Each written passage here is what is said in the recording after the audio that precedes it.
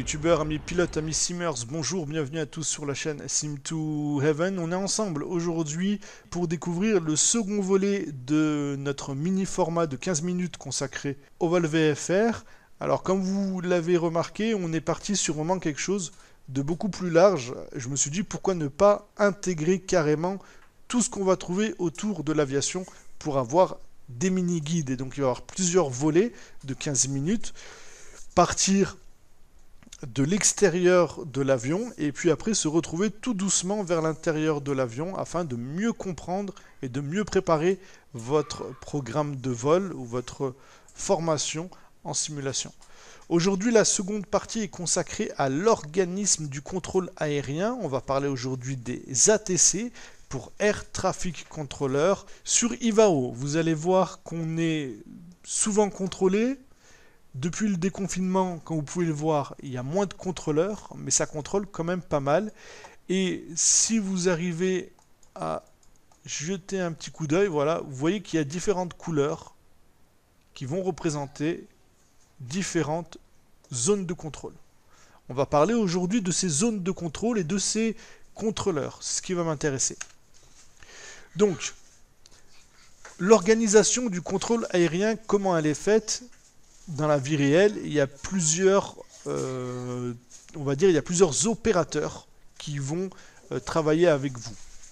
Sur Ivao, du fait qu'on n'a pas tous les contrôleurs qui sont connectés, sauf pour des gros events, il va falloir que vous sachiez avec qui vous devez vous connecter et à quel moment. On va partir de la base et puis on va augmenter, on va structurer les choses un peu. Donc je vous ai mis une petite définition des ATC. Ce sont des opérateurs qui vont vous indiquer quoi faire. Ils vont assurer la séparation par rapport aux autres aéronefs. Donc séparation au sol, mais aussi séparation en l'air, que ce soit une séparation verticale ou bien une séparation horizontale. Ils vont vous offrir des services tels que la piste à utiliser, la route à suivre. Ils vont vous donner des informations, des informations météo et assurent le service d'alerte, que ce soit une alerte sur un aéronef. Par exemple, il y a un avion qui a un problème, attention à tous les avions, euh, ça peut être dangereux. Euh, une alerte au niveau de l'aéroport ou une alerte au niveau euh, de la météo, par exemple. Différents opérateurs de contrôle de la circulation aérienne existent. C'est très important de bien assimiler tout ça quand vous allez voler, que ce soit sur Ivao ou VATSIM, ou pour les futurs pilotes même, que vous sachiez en fait dans quel ordre il faut euh, rentrer les fréquences. Donc la première, ça va être le DEL, le delivery. C'est la personne qui va vous délivrer justement une clairance. Il vous délivre la clairance de départ après la vérification du plan de vol. Si le plan de vol il n'est pas bon, il va vous demander bah, de refaire votre plan de vol. Il approuve la mise à route euh, des moteurs. La clairance de départ inclut la CID, la piste en service, le niveau initial si besoin, le code transpondeur. Alors sur Ivao, le DEL, il n'y en a pas beaucoup. Il y en a sur les gros events pour euh, essayer de soulager tous les autres contrôleurs, mais sinon il n'y en a pas beaucoup, malheureusement. Et ce qui est important, c'est que ce rôle de DEL, en fait, vous et moi, on le fait souvent quand on prépare les vols et qu'il n'y a pas d'ATC, c'est-à-dire que par rapport à la météo, eh ben, on va voir quelle est notre piste en service. Par rapport à ça, on va déterminer notre CID. Le niveau initial, il est déterminé par les informations qui sont dans la CID.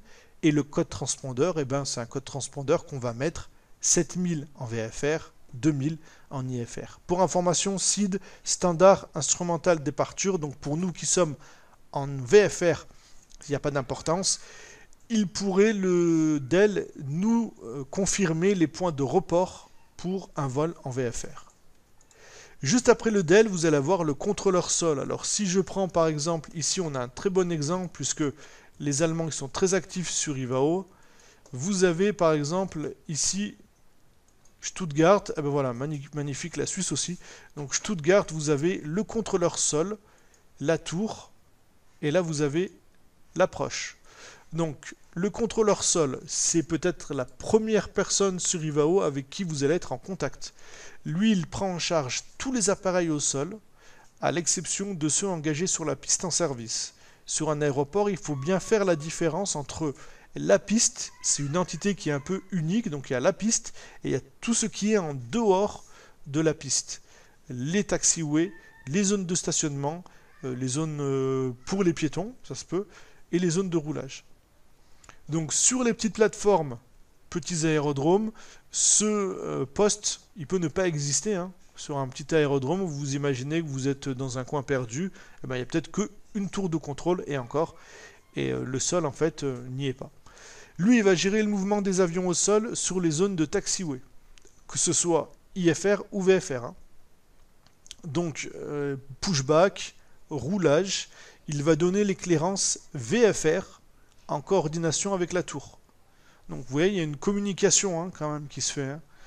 Il donne l'éclairance IFR en coordination avec l'ATC de l'approche. Et il fait ça seulement si le DEL n'est pas ouvert, ce qui est souvent le cas sur IVAO. Il ordonne la circulation au sol. Donc la première personne avec qui vous allez être en contact quand vous allez vous connecter sur IVAO, ça va être le contrôleur sol qui va vous fournir la clairance. En l'occurrence, ici, par exemple, ce serait Zurich, Zurich sol, et la fréquence, elle est ici. Voilà. Une fois que j'ai euh, discuté avec l'ATC, que je suis en train de rouler, à un moment donné, il va me demander où il va me transférer plutôt vers euh, l'ATC tour, donc vers la tour de contrôle. Et il va vous dire, eh ben voilà, euh, veillez la tour ou bien contactez la tour à une certaine fréquence. Il fait ça en général entre le moment où vous roulez et le moment où vous êtes au point d'attente. Donc, le, la tour, voilà, elle, elle prend en charge tous les appareils sur les pistes ainsi que ceux en vol qui sont en vue de l'aérodrome au sein de l'espace aérien associé à l'aérodrome. Ça fait une longue phrase. Juste pour résumer tout ça, vous prenez un avion qui vient de décoller. Voilà euh, cet avion, donc United Airlines 253. Lui vient de décoller de euh, Munich, c'est ça. Jusqu'à là, il était avec la tour. Là maintenant, c'est bon, il n'est plus avec la tour. D'accord? Il a passé une certaine distance, une certaine hauteur, donc on va dire que les responsabilités du contrôleur aérien s'arrêtent ici. Si on avait eu l'approche, comme ici par exemple euh, à Salzbourg, il aurait eu le, contact avec l'approche. Alors, cet espace aérien est appelé zone de contrôle d'aérodrome. Lui, il va donner les autorisations d'atterrissage, de décollage et de traversée de piste ce qui est très rare sur Ivao, puisqu'en général, sur Ivao, la tour, c'est celle qui fait le rôle du DEL et du sol. Évidemment, quand il y a un sol qui est connecté, il va faire seulement ce rôle-là, donc euh, autorisation d'atterrir et de décoller. Il va aussi vous, vous donner les autorisations de traversée de piste, c'est-à-dire que quand vous êtes connecté avec un contrôleur au sol, il va vous demander de vous connecter à la tour de contrôle pour pouvoir traverser la piste. Une fois que la piste elle est traversée, vous allez revenir vers le contrôleur au sol. C'est normal, hein, vu que c'est le contrôleur de la tour qui gère la piste. Donc vous traversez un secteur dont il est responsable, vous êtes redirigé vers lui. Il contrôle l'espace aérien proche du terrain, c'est important. Ensuite, le contrôleur de départ, pareil sur Ivao, pas très actif, on n'en a pas beaucoup. Lui, il assure tous les départs d'un aéroport jusqu'au transfert vers l'ATC suivant. Il assure la séparation des départs IFR par rapport aux autres appareils IFR et il fait en sorte que les pilotes puissent monter continuellement. C'est-à-dire que le sol, le DEL, pardon, vous a donné une altitude initiale, par exemple 7000 pieds. Il ne faut surtout pas que l'avion s'arrête à 7000 pieds, il faut qu'il continue à grimper. Là, ça va être le, rôle du départ, en fait. Il va vous dire, ben, continuez à monter vers les 10 000 pieds, faites un direct vers tel point ou un guidage radar. Le contrôleur approche, je pense que tout le monde le connaît sur Ivao, ils sont très très présents les contrôleurs approche. Vous avez par exemple ici euh, l'approche de Salzbourg, voilà, qui est ici, c'est l'approche. Donc l'approche, lui, il assure l'arrivée des appareils à partir de l'entrée de la TMA jusqu'à l'établissement sur l'axe d'approche finale. C'est lui, en fait, qui va euh, saboter un peu tout le travail qu'on a fait quand on est sur notre aéroport de départ.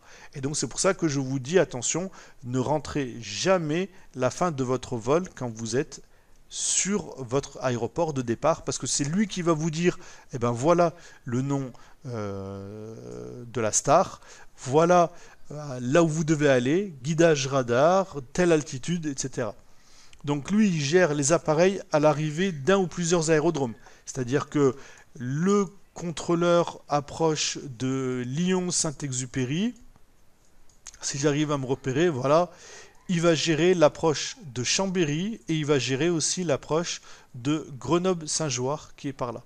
Vous voyez, ça lui fait un gros boulot quand même. Heureusement que ce pas des aéroports qui sont très actifs.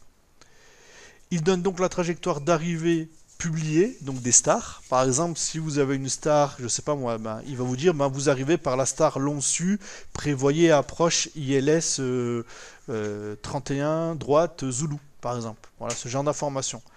Il va vous donner l'autorisation d'approche. Il assure la sécurité des appareils IFR entre eux en classe A, B, C, D et E qu'on verra très prochainement, hein, les différentes classes. Il fait de la régulation en utilisant le guidage radar, comme on vient de voir. Bah, par exemple, vous êtes, euh, sur une, route aérienne, et lui, à un moment donné, il va vous guider, bon, il va vous dire, bon, bah écoutez, guidage radar. Donc, il va vous demander de suivre des caps qui vous amènent, en fait, sur la trajectoire de l'ILS, et ensuite, il vous fera switcher avec la tour.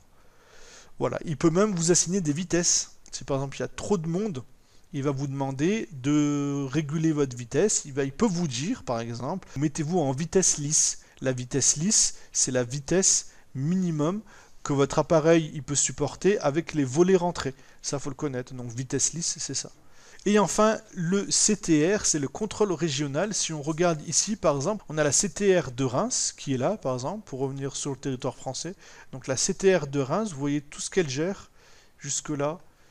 Alors, l'ACTR, lui, il contrôle tout l'espace aérien des régions d'information, les FIR, on verra ça très prochainement, les FIR et les WIR, qui n'est pas sous la responsabilité d'un ATC. Il assure le contrôle des appareils en phase de croisière, des appareils qui sont en phase de montée ou de descente, depuis ou vers un aérodrome situé sur sa FIR. C'est-à-dire que ici, la CTR de Reims, elle, elle va pas s'occuper de Orly. Il va s'occuper de Charles de Gaulle, il va s'occuper de euh, cet aéroport-là et cet aéroport du côté de Dijon. Voilà. Il va pas s'occuper ni de Caen, ni de Marseille. D'accord? Eux, ils ont leur CTR. Il assure aussi le service de contrôle des appareils IFR de la MEA. Alors ça, on verra la MEA. La MEA des routes aériennes jusqu'au FL 115 il assure le service de contrôle des appareils IFR et VFR au-dessus du niveau 115 et en dessous du niveau 195. Il assure le service de contrôle des appareils IFR. Alors ce qui est important pour nous qui sommes en VFR, c'est qu'en fait l'ACTR qui est là de Reims, on n'est pas obligé de la contacter quand vous faites du VFR.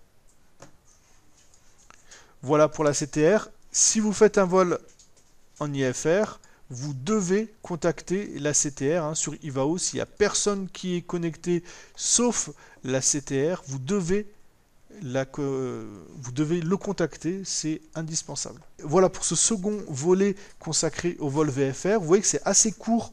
Il a fallu résumer un tas de choses sur les ATC. Je suis allé vraiment à l'essentiel. Ce qui nous importe le plus en simulateur, c'est de savoir qui est connecté et qui est-ce qu'il faut contacter pour pouvoir voler en sécurité. Je vous dis à très très vite pour le troisième volet, ce sera consacré à la piste euh, d'un aéroport et à sa construction. On se revoit très très vite pour le troisième opus. Merci encore pour vos messages. Je vous invite à aller visiter les pages Facebook, la chaîne YouTube et puis à aller euh, voir le, site Utip si vous voulez regarder une petite pub le temps que le simulateur y charge ou alors pour faire un petit don pour la chaîne. Merci à tous, à très très vite sur la chaîne Sim 2 Heaven. Ciao